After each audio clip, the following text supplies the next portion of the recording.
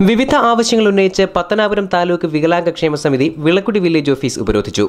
Panchayat secretary നീതി പാലിക്കുക വികലാംഗരുടെ അവഗണന അവസാനിപ്പിക്കുക വികലാംഗ പെൻഷൻ വീടുകളിൽ എത്തിക്കുക വികലാംഗരുടെ ആശ്രിതരിൽ ഒരാൾക്കെങ്കിലും സർക്കാർ ജോലി ഉറപ്പാക്കുക.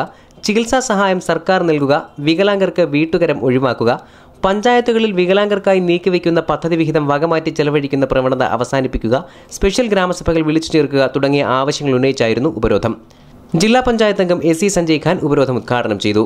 ഒരു വാർഷിക പദ്ധതിയിൽ മൂന്ന് ശതമാനം ഫണ്ട് വികലാംഗർക്ക് വേണ്ടി നടപ്പിലാക്കണം വികലാംഗരുടെ ആനുകൂല്യങ്ങൾക്ക് വേണ്ടി നടപ്പിലാക്കണം അവരുടെ പദ്ധതികൾ അവരുടെ പ്രശ്നങ്ങൾ പ്രയാസങ്ങൾ പരിഹരിക്കുന്നതിന് വേണ്ടി നടപ്പിലാക്കണമെന്ന സ്ട്രിക്റ്റ് നിയമമുള്ളപ്പോൾ ആ നിയമത്തെ കാറ്റിൽ പറത്തിക്കൊണ്ട് ഈ പഞ്ചായത്തിൽ കഴിഞ്ഞ അഞ്ച് വർഷക്കാലം യാതൊരുവിധമായ വികലാംഗ ആനുകൂല്യങ്ങളും ലഭ്യമാക്കുന്ന തരത്തിലുള്ള പ്രവർത്തനങ്ങൾ നടത്തിയില്ല എന്ന് പറയുന്നത് വളരെ ഖേദകരമാണ്. അതിനെതിരെയാണ് പത്തനാപുരം വികലാംഗക്ഷേമ സമിതിയുടെ നേതൃത്വത്തിൽ ഇങ്ങനത്തെ ഇത്തരത്തിൽ ഒരു ഉപരോധ സമരം തന്നെ സാഹചര്യമുണ്ടായത്.